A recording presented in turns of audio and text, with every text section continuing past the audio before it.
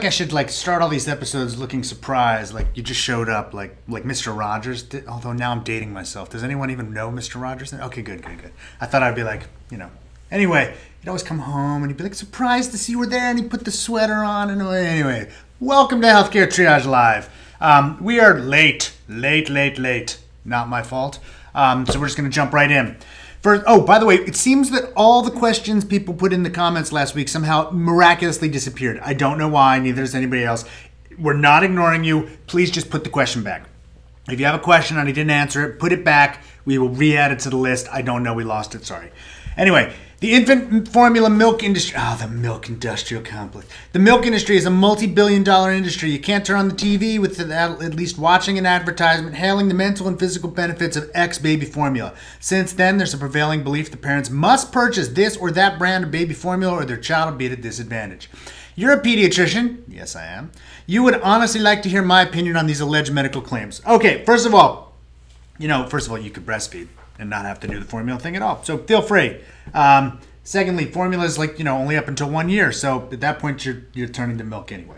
When you're in the formula, it's like you know. The vast majority of formulas are just fine. They're, they're just fine. They're normal formulas. It's like once you reach sort of the basic components, they're all the same. Now you can, if you go, there's a million on the shelf because there'll be the soy-based one, there'll be the like you know super fat one, there'll be the uh, low iron one there will be the one that's like more easily digestible. There'll be the hypoallergenic one. The vast vast vast majority of children need the basic formula. Um, and then everything above that is sort of like uh, bonus or whatever. Useless i could say. And for many many people useless. Now the idea that now we need the like super formula because that's going to lead to a better brain no no. That's like something in a lab or cooked up. There's no no randomized controlled trials or any trials that show like kids that get this or that formula are smarter, do better, develop better, you know, physically better, mentally. None, none, none. That's all like maybe. It's like it's almost a supplement industry. Um, it is just not based on actual research. So um, my kids were breastfed, and when Amy was done with that, uh, they were formula fed, and it was the basic whatever uh, formula was available. I can't remember which com- company it was because I didn't care. Um, and for the most, most, most, most people, neither should you. You just shouldn't. Next question from AK11234. The Food and Drug Administration said there are serious and sometimes disabling side effects from the commonly used class of antibiotics called fluoroquinolones. Is this just another FDA overreaction, or do the risks outweigh the benefits? Is this an okay? Well, now I'm questioning. Like, is this a new thing? Because I mean, fluoroquinolones for all for a while, like you know, they were sort of. We don't like to give them to young kids. They can sting the teeth. You can have some other issues.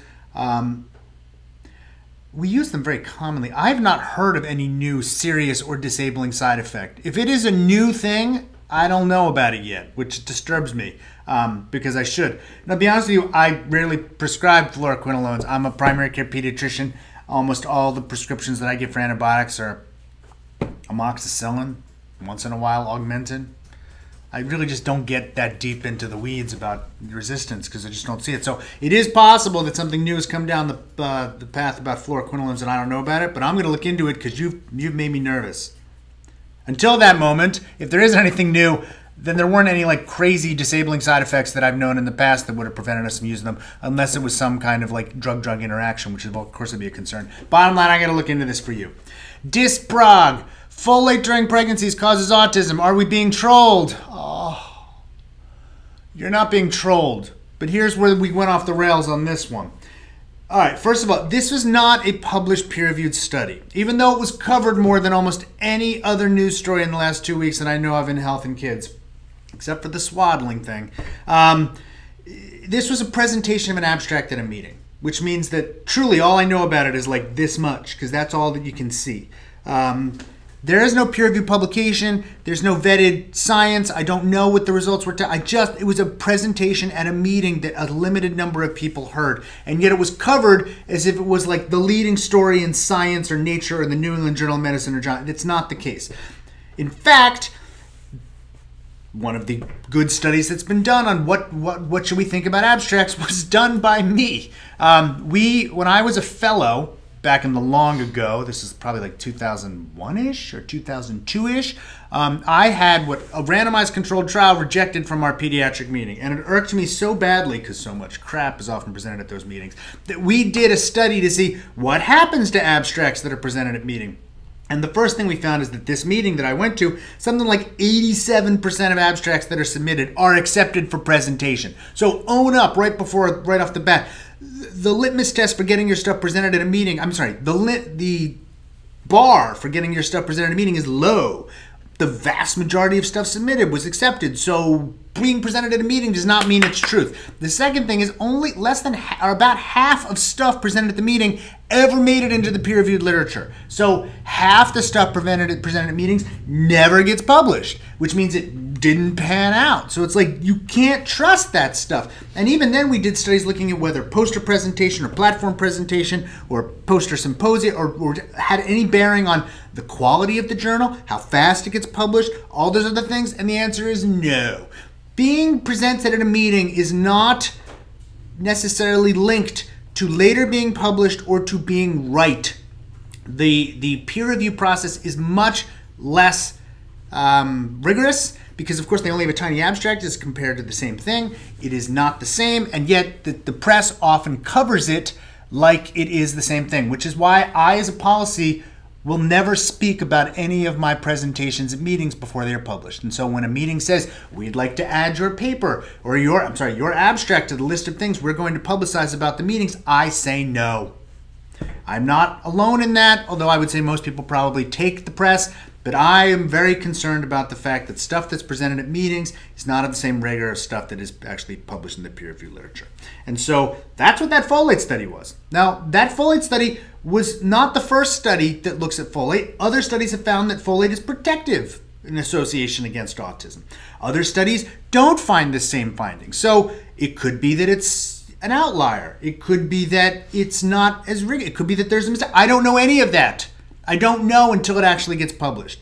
Um, we do know that folate is really good for other things, um, like presenting neural tube defects, which is why we take we give it to pregnant women. So um, there's lots of proven benefits. I don't know about this. This has not been published yet. It probably shouldn't have been covered to the extent it was, but the the health media can't help themselves. They just can't, and uh, neither can people for you know being hungry for that kind of stuff. So yeah, I won't even cover it in healthcare triage news. This is the thing: is like people have said, "Will you cover this?" And my answer is no. There's no study. I can't even comment. I don't know about it yet. So um, we have to wait until, unfortunately, it gets published. But I, I would tell you, until that moment, no one should get panicked. Really. Jenna Van Sickle asks, is there a difference in regulation between herbal supplements and vitamin supplements? No, no, there's not. I take magnesium oxide, which comes from behind the pharmacy counter to prevent migraines. Yeah, no, no difference in regulation. Supplements or supplements or supplements. You have no idea if you're getting what you think. And there's so many healthcare triage episodes on that. I'm going to send you to those. Olives Olive says, Why don't we use male birth control? I've read some articles about the RISUG, which is the reversible inhibition of sperm under guidance, and I don't get why it wouldn't be viable. It seems a lot less harmful than the pill. Well, we don't. I, it, it's not that this stuff can't get studied. It's that we don't really have them available. You know, people would. I think a lot of people would argue that male birth control is like condoms. If you're talking about taking a pill, they just haven't really been studied. Um, why? I don't know. Probably the patriarchy. I don't. I don't know. Probably because we we've always it's, it's the girl's responsibility not. To, I mean, I'm being facetious, but that I I got to imagine that's what it is, and that somehow we as a society or they're the world are determined it. That's the girl's responsibility or the female's responsibility, and they have to be responsible for it, and they have to take care of it, and men don't do it. So there is no pill for that.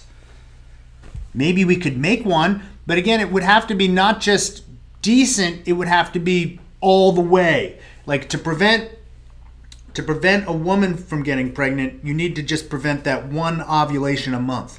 To prevent a man from get, you have to kill all the sperm. They all got to die, every single one. Because if a some get through, you can get pregnant, and you need it to be like all. So it would have to be something which could reversibly inhibit sperm, and that's what you're saying. I don't know that they've achieved that yet. Um, and so therefore we don't have it. Why don't we put more money into looking into that? Excellent question. Talk to the NIH. Dark Diva 92, or the, you know, for that matter, the pharmaceutical companies too. I shouldn't just blame the government.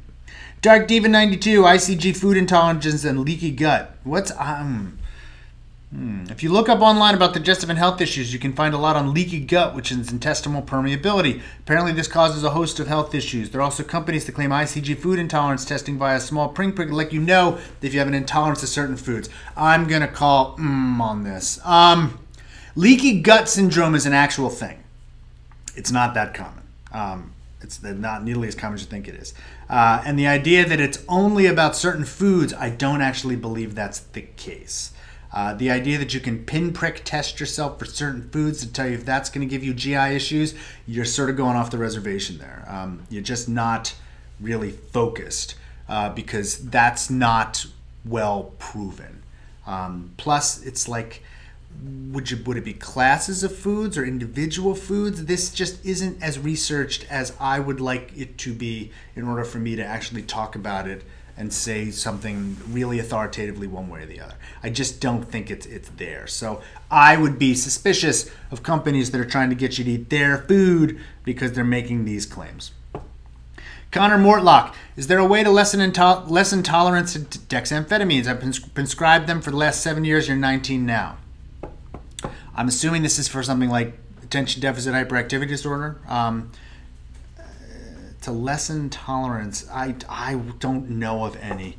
Um, on the other hand, if you've been taking it for seven years, tolerance would happen long before then. Um, it wouldn't take like seven years to get there. This is something you should probably talk to your doctor about. Uh, about whether you need to continue to take them, about whether there are alternatives, or about whether you need increased doses, exactly what's going on, whether therapy might help at this point. Um, I would talk, definitely talk to your doctor. Liz Barino says, Hello, what diseases often produce false positive tests? That's a really great question. Diseases don't produce false positive tests. Tests produce false positive tests. The tests that are the diseases that are most likely to have false positive tests, for the most part, are really rare diseases. Because if a disease is really rare, then a positive test is more likely to be not real because the disease is so rare. Then that, unless it's a really, really, really perfect test.